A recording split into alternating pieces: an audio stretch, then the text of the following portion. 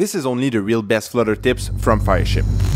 Over years, Fireship has released so many great Flutter tips, and right now I will show you which one are the best. Every great app starts with a great design. First thing you should do when you start a new application is to plan the UI and UX design. You can draw this on a piece of paper or you can use a more professional tool to do it. Figma is one of the best tools that you can use to create your app UI and UX design. Another great tool is Rive. This one will allow you to create custom animation for your app. All the animation on the screen has been created with Rive. You want to avoid spaghetti code as much as you can. Speaking of spaghetti code, when you will start with Flutter, you will quickly realize that you need to send data back and forth through the widget tree. With state management, you can access anything inside your app without having to send data back and forth into your widget tree. Provider is one of the most popular with Flutter. Most of the time, you will need to authenticate your users. And one of the easiest way to do it is by using Firebase authentication. You can log in with Google, Twitter, Facebook, Apple, or typical emails. Google and Facebook are the most common.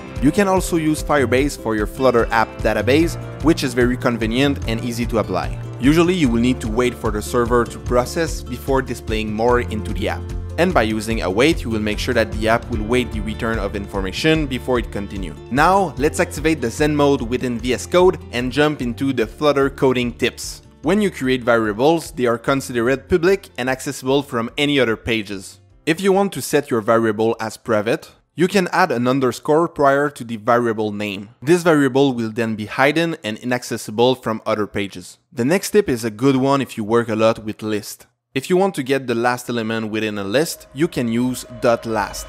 Dragon Ball.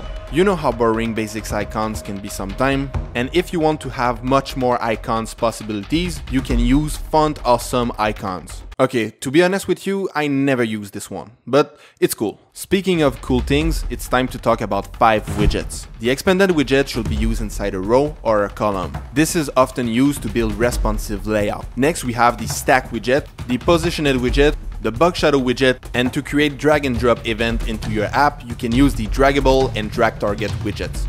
Fireship showed us in one of his videos how to create this radial menu step by step, but I found online this Flutter package called Circle Menu. It's up to you. One of the best Flutter page animation is from the animated slideshow video. This animation actually use a widget called animated container. With this one, Flutter will animate for you the container properties if they change. At one point into the app, you will need to change the app icon. You only need to add an app icon into the project, run a simple command, and voila. Your app icon will be set up for Android and iOS. Now, let's say you are building a drone delivery app and you need to notify the user when the drone successfully delivered a package.